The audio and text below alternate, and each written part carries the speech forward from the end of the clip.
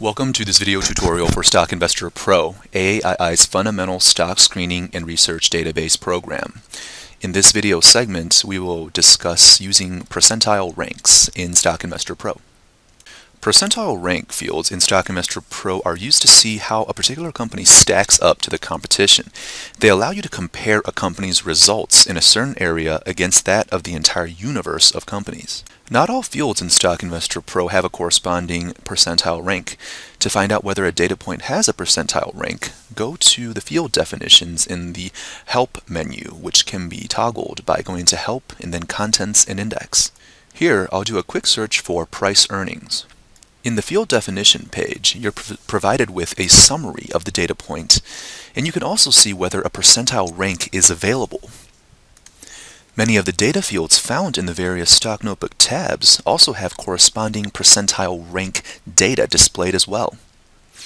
I'll do a quick search for General Dynamics, ticker symbol is GD. After finding the company, I'll click on Overview and then click on Share Statistics. Here you'll find relative strength and percentile rank. The relative strength of negative 6.19 indicates that the stock has underperformed the S&P by 6.19% over the last four weeks. The relative strength percentile rank index of 24 indicates that the four-week relative strength is greater than only 23% of the companies in the database. As another example, I'll look up Microsoft.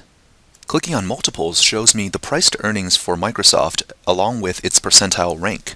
The company had a current price to earnings ratio of 15.3, which places it in the 46th percentile of the entire database. In other words, 53% of companies in the database have a current price earnings ratio that is greater than Microsoft.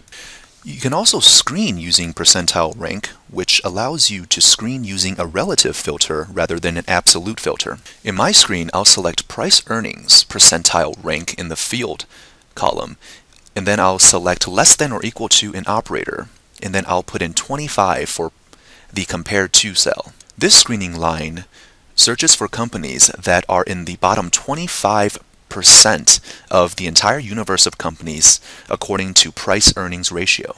In other words, I want stocks trading at a discount relative the universe of stocks. After finishing the screen, clicking on how many shows how many companies pass this filter. Clicking on apply will then load the passing companies into the stock notebook in the background. Numerous other data fields with percent rank are available. For my next line in the screen, I'll select percent rank cash flow growth over the past seven years.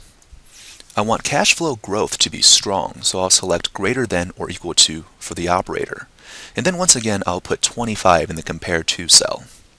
This searches for companies with a cash flow growth in the top 75% of the database. It screens out companies whose cash flow growth is in the bottom 25%. For additional Stock Investor Pro resources, please visit our website or our wiki.